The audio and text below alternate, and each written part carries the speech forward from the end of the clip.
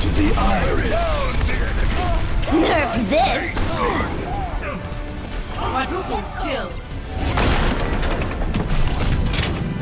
Game on!